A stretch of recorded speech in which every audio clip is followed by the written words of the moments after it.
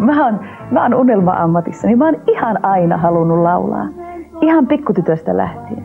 Se on ollut hyvin jännä tuolla jossain selkäytimessä. Ja mä oon äh, todella onnen tyttö.